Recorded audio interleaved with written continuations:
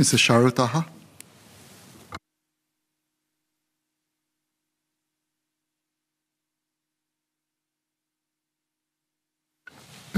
Thank you, Chairman. Keperluan kesihatan dan sosial kita akan meningkat.